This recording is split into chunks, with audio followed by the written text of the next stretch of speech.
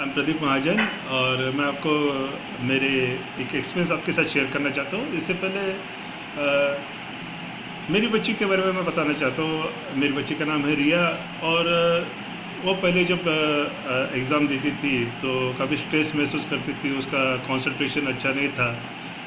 लेकिन तब मैंने मेरे एक दोस्त के साथ डिस्कस किया। उन्होंने मुझे ये री एजुकेशन का नाम सजेस्ट किया।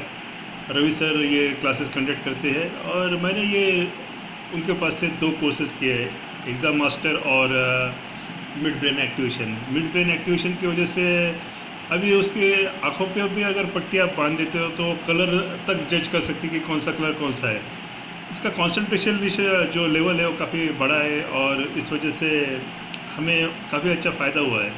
मैं आपको रिकमेंड करता हूँ कि आप भी अपने बच्चों के लिए ये कोर्सेज ज़रूर करें, जिससे उनका कॉन्फिडेंस और कॉन्सेंट्रेशन जो है वो बढ़ जाएगा। Thank you